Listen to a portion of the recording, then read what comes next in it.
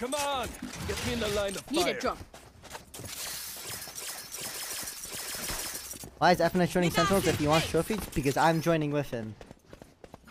Damn. I would have been Giga Chad if I won something, but I didn't. So, in other words, no trophies. But we get paid! That's for damn sure we getting paid. No trophies, no win. Still got the monies.